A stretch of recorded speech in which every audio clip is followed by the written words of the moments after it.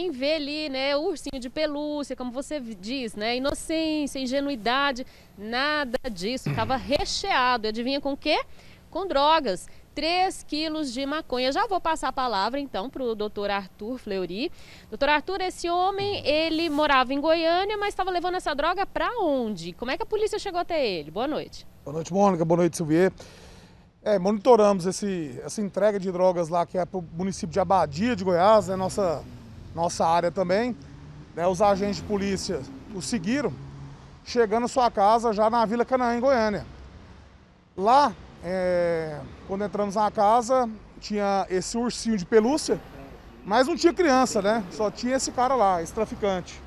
41 anos, né? Cada um tem, uns go tem um gosto, né? Mas geralmente pessoas dessa idade não, não dormem com ursinho de pelúcia.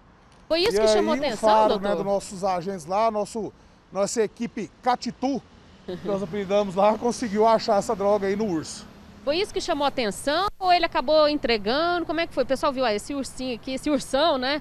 Não, a gente, a gente ia pela investigação, a gente sabia que tinha droga na casa, não sabíamos aonde, né?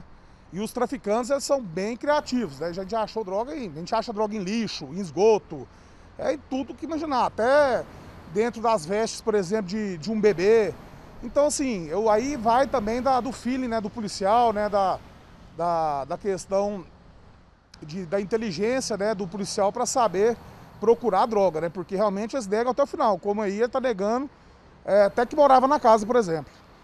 E isso ia parar tudo lá em Abadia de Goiás?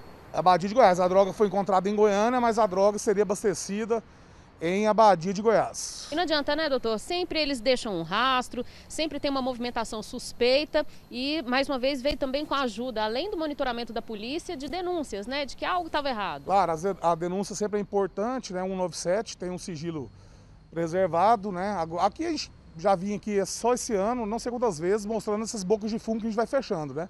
É realmente a droga não para, é uma desgraça da, da humanidade, mas a Polícia Civil está aí presente na região